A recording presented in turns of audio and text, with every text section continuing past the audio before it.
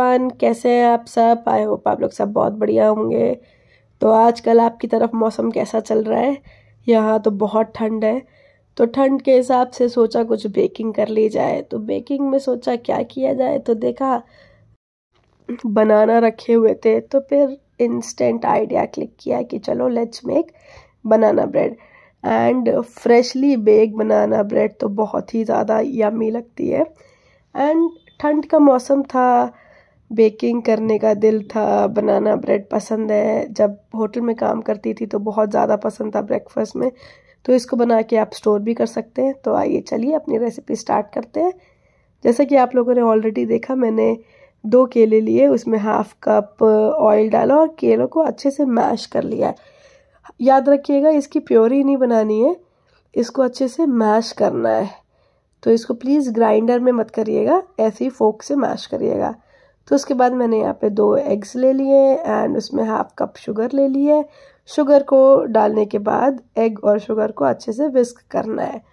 तो मेरे पास तो ये था तो मैंने मेरे लिए ये आसान है बट बट बट आप लोग हैंड विस्कर से भी इजीली कर सकते हैं। थोड़ा सा टाइम लगेगा बट उसमें हो जाएगा।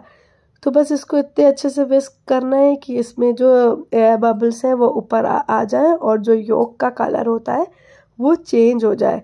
योग का कलर हल्का सा आ, क्रीम कलर का हो जाए। जब वो हो जाए ऊपर तक एयर बबल्स आ जाए तो उसमें थोड़ा सा वेनिला एसेंस डालिए एंड अब मैंने यहाँ पे फ्लावर लिया है। एंड बहुत इंपॉर्टेंट स्टेप है इसको याद रखिएगा कभी भी कभी भी एक साथ फ्लावर नहीं डालना है। धीरे धीरे करके डालना है। मैंने यहाँ पे वन कप फ्लावर लिया था।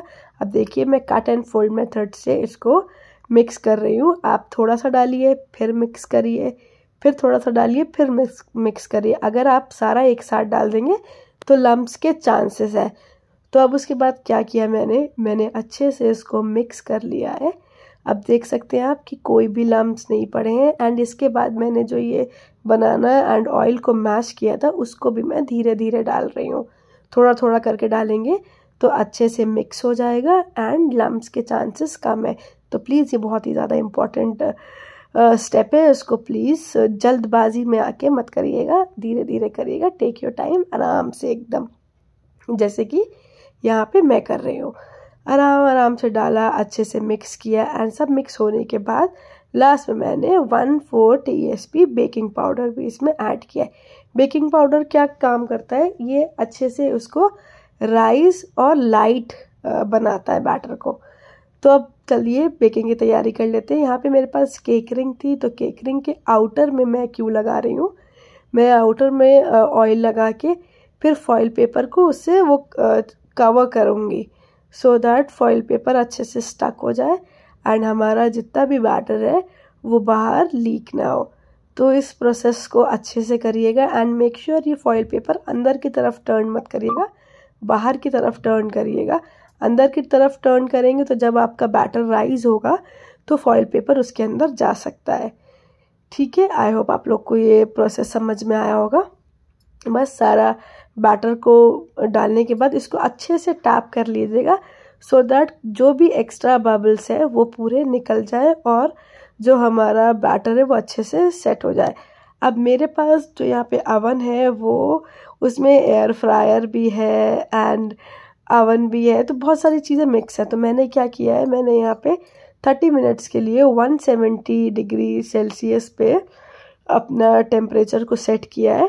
एंड बेकिंग करने जब हम लोग स्टार्ट करेंगे तो याद रखिएगा, हमें स्टीम प्रोवाइड करनी होती है। तो स्टीम के लिए मैंने ट्रे में थोड़ा सा पानी डाला है। अगर आपके पास आइस क्यूब्स है तो आप आइस क्यूब्स भी ऐड कर सकते हैं। बट मैंने यहाँ पे पानी डाला है सो दैट लंबे प्रोसेस तक, लंबे टाइम तक at least five to ten minutes तक इसमें स्टीम मेंटेन रहेगी। अब आप लोग जैसा कि देख सकते हैं कि ये अच्छे से राइज हो चुका है। तो चलिए अब हम इसे चेक करते हैं। तो चेक करने का सबसे अच्छा तरीका है टूथपिक से। अगर आपकी टूथपिक क्लीन निकल रही है इट मीन्स आपका जो भी बेकिंग है, वो परफेक्ट हुआ है। अगर इसमें ज़रा सा भी कुछ स्टिकी सी निकलती है तो इट मीन्स आपका अभी और बेक होना है। तो यहाँ पे मेरा बनाना ब्रेड बेक हो चुका है। तो आप देखिए कितना ज़्यादा सॉफ्ट है। एंड इसको प्लीज़ गरम गरम एक बार ज़रूर ट्राई करिएगा। एंड आप इसको सुबह टी टाइम के साथ भी इंजॉय कर सकते हैं। टी टाइम के साथ भी इंजॉय कर सकते हैं। नॉर्मल भी आप, जैसे फ्रूट केक वगैरह लेते हैं, आप ऐसे भी ले सकते हैं। तो अगर आपको ये मेरी रेसिपी अच्छी लगी हो तो प्लीज़ अपने फ्रेंड्स एंड फैमिली के साथ ज़रूर शेयर करिएगा।